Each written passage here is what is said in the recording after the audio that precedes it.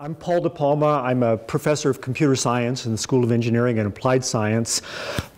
Thank you for coming and dealing with this on a Saturday afternoon. Even one of my students is here. God, I got to think about that, you know. Um, you know, keeping a professor down to 12 and a half minutes is, is, is tough. You know what I mean? I just, I just like to yak. So um, those of us of a certain age will get this reference. Uh, Open the pod door bay, HAL. It's, it's from 2001. If you might remember HAL, HAL is this, this um, malevolent computer here, and we have a little bit of HAL. You have to endure an advertisement before we can get to HAL, but he's in there.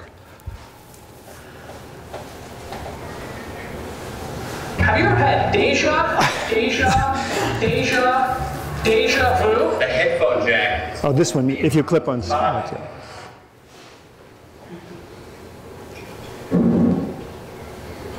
That's good, Far. That right there is fine. And it sounds like nothing is happening, but it is.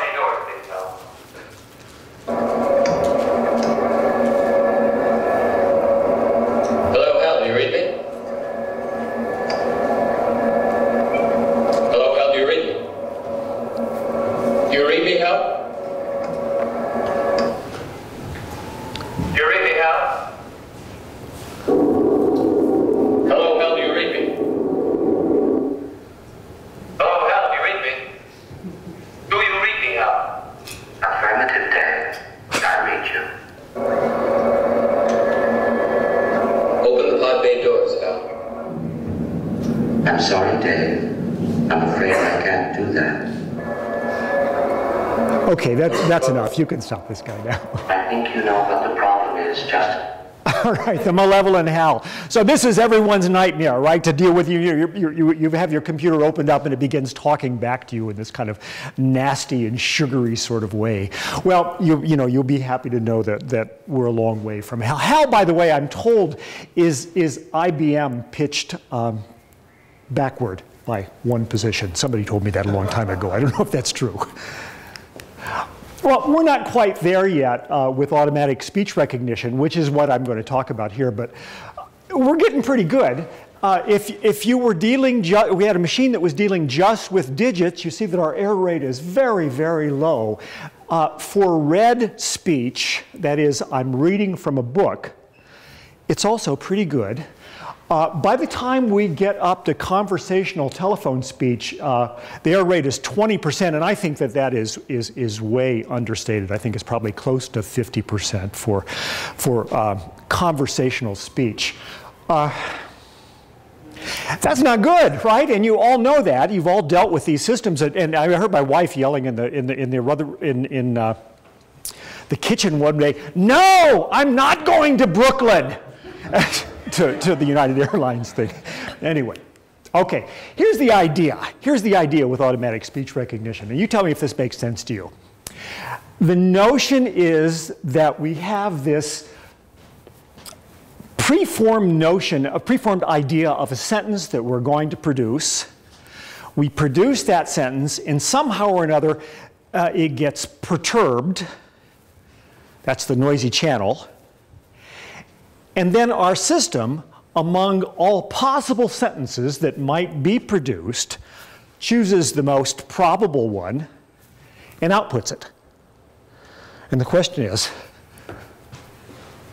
is that how you talk? Is that how you think? Do you have a preformed sentence in your brain? If I did right now, I'd be in trouble. But it, it, it works a little bit, but I think there are problems with the model.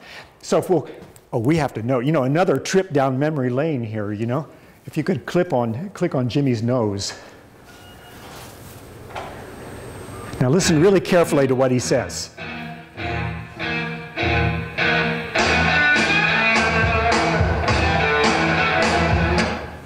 Yeah, that's about 15 or so would be good.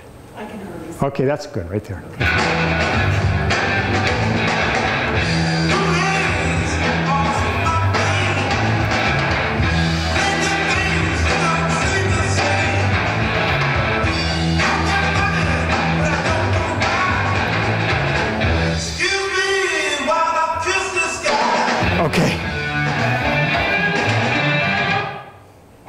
I, am slightly embarrassed to tell you that I spent a lot of mental energy at the time thinking, is Jimi really saying, excuse me while I kiss, the, kiss this guy?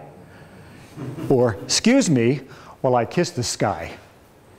You see, it sounds similar, doesn't it? And this is exactly why auto, uh, automatic speech, re speech, mm, speech, recognition is difficult. It's all about disambiguation. Uh, this is a phenomenally difficult task. Um, I'm given this one simple example, but it, it exists everywhere in language.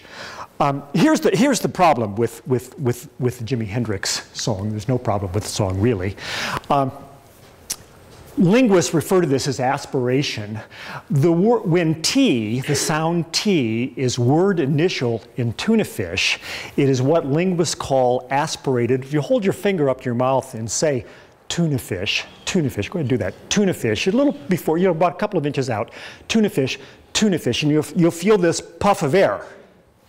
Now hold your finger up to your mouth and say starfish. And the puff of air is missing, but this time if you put your fingers up here in your vocal cords and say starfish, you'll feel a vibration. What happens is that the S, um, the, the S before the T causes, the, causes the, the aspiration to become unaspirated and causes the vocal cords to vibrate. The same thing happens with K and G. By the way, if you say in You'll notice that they're said with the same piece of your mouth. Your tongue is kind of pressed up at the back of your throat. In ga, it's, it's, it's identical actually. The only difference is the vocal cords are vibrating with the ga sound. Well, this sky, sky should be aspirated. The K's are aspirated, and the S before uh, the, the, the K causes the, the, the non-aspiration. and it sounds like, excuse me while I kiss this guy, you see. Geeks like this kind of thing. But anyway. All right, well, what do we do? What do we do? I know all of us, because I went through the same educational system that you did, we were taught that language is a system of rules. Well, instead of thinking of it as, as a system of rules, you know, T makes this kind of sound, uh, to whom is correct, to who is incorrect, think of it um, actually is a collection of probabilities. Then speech recognition becomes this conditional probability. Don't get put off by this thing. It's really not a very big deal. You can read it. The hypothesized word sequence is that sequence in the target language with the greatest probability given an entire sequence of acoustic events. If you say a bunch of things to me, I want my recognizer to choose the best possible one. Okay? Well, this is great to formalize this mathematically, and this may, this may be pleasing to a mathematician, uh, but I don't know what to do with it. I can't compute that. Well, lucky for us, Parson Bayes from the 18th century comes and rescues us. He's the author of uh, many other things, uh, uh, uh including divine benevolence, or an attempt to prove that the principal end of divine providence and government is the happiness of his creatures. you know, they were, they, were, they were a more hopeful people in the 18th century. well, anyway, anyway, um, he's not remembered for his, his, his book on, on divine benevolence, but it is said that, that he worked, he dabbled in probability theory because he wanted to prove the certitude of the Gospels.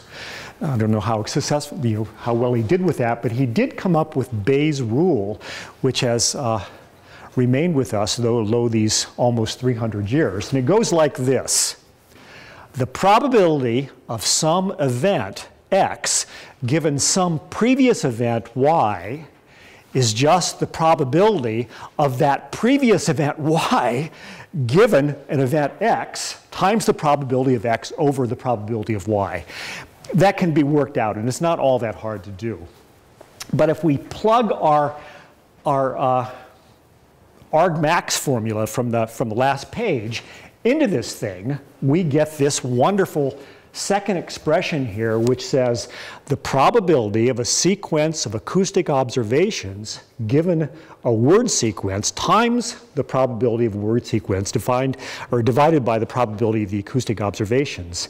Now, it turns out this is way, way, way easier to compute uh, And the reason being is that we have a big corpora, a big corpus of data uh, of, of spoken language, and we can associate, we have energetic graduate students who, who, who annotate this, saying the sound t means the, you know. Um, and we, in fact, uh, uh, can describe then this, this probability of acoustic observations given a word sequence. Well, we can even do better than that. This uh, probability of acoustic observations is over all possible, of all the candidate uh, word sequences we want to judge from. The acoustic observation doesn't change. You're listening to me right now, you're hearing a sequence of acoustic observations, and you're trying to disambiguate what um, I'm rambling on about, but it's one set of acoustic observations, so we can just get rid of the denominator. And we get this thing, which turns out to be fairly easy to compute. This is what a large vocabulary continuous speech recognition system looks like. And if you can look up here, you'll see that probability of the acoustic observations given the word sequence. And over here, the probability of the word sequence. This one, collectively, the probability of the acoustic observation given the word sequence is referred to as the, the acoustic model. And this one over here is referred to as the, as the language model. Okay? And out the other side, we pass it through a, another algorithm, and out the other side comes a little snippet from the 12th night that we all know, if music be the food of love, play on. Well, okay. How am I doing on time here? We don't know. Okay. Um, my own work asks this basic question. Is, the assumption with all of this, I'm not sure if you could, if you saw this or not, you'd have to think about this a bit. Uh, the assumption with these LVCSR systems is, is that speech is just transcribed writing. And I ask this question, is it? And the next question is really, what does speech look like when you see it? You see this kind of thing all the time. I just took this out of the New York Times. Um, this is a quote.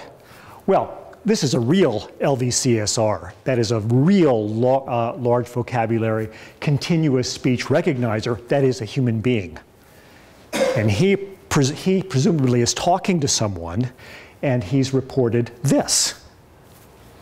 People really talk like that? This is what they talk like. This is what speech sounds like. This is the very first segment from a very important corpus of speech called the, the Buckeye corpus. And it's full of these restarts. You know, I, I start to say something, then I go back to the sentence and I mend and I start over again.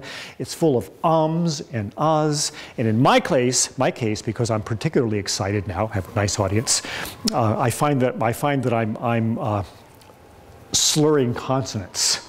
Just too bad, but it is a talk about speech, after all. That's what speech looks like.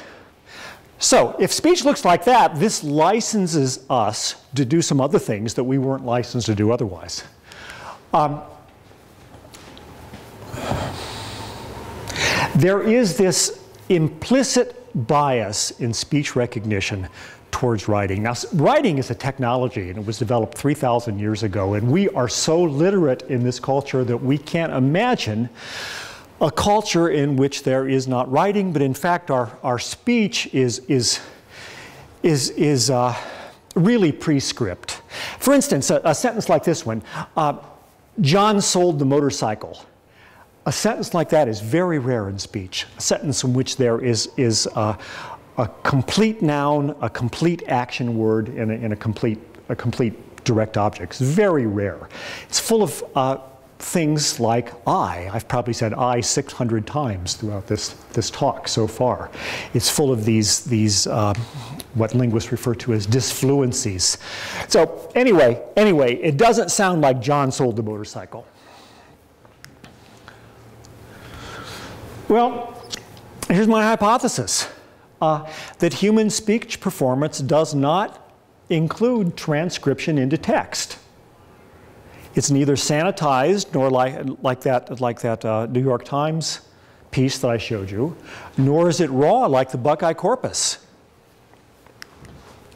So here's my hypothesis.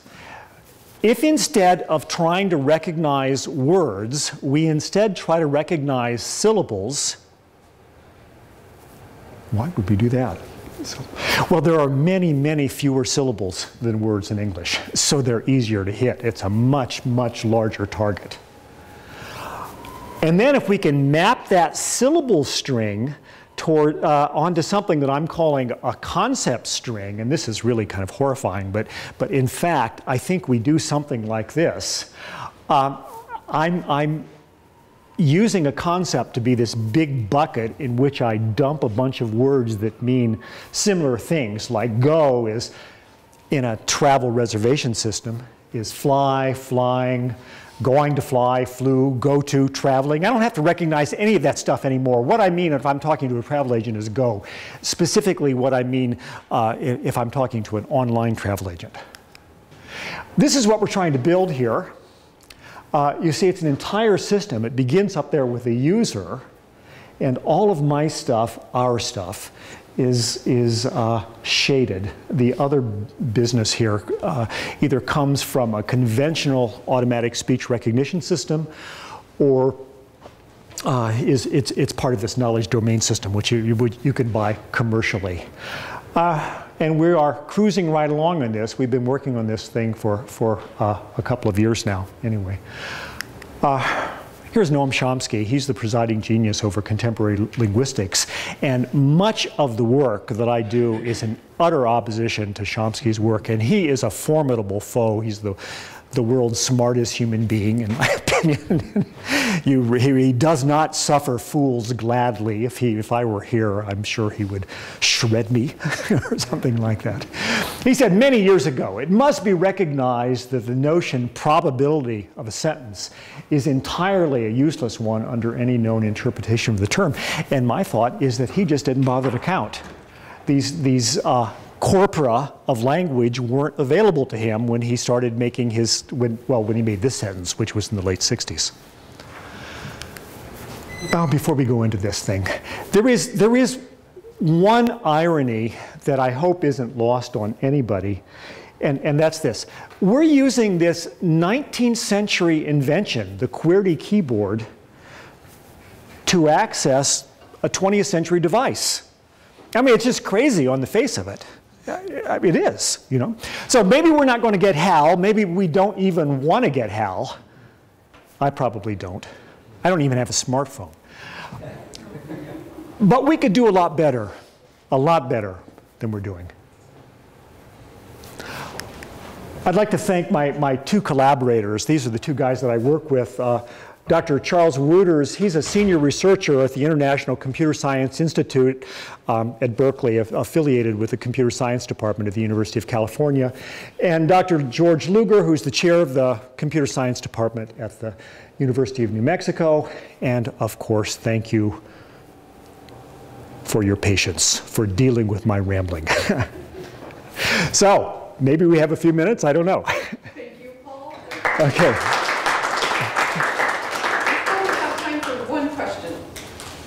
we have another speaker to get prepped for.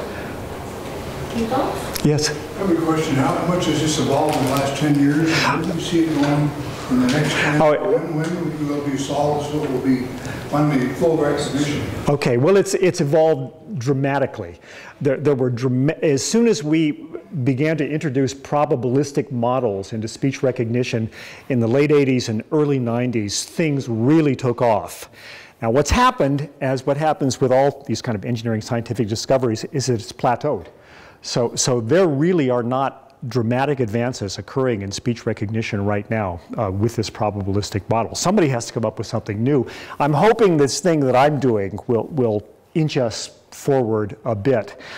Uh, whether we're ever going to get to HAL is, seems like an open question. You know, computer scientists are, are, are, especially people in artificial intelligence like myself, are notorious for being optimists, predicting in 10 years uh, who knows what's going to happen. I think we'll get a lot better with this stuff. Whether we'll have ever have anything that approaches uh, that approaches HAL is, is to me doubtful, but but I'm not sure. Okay, maybe one more.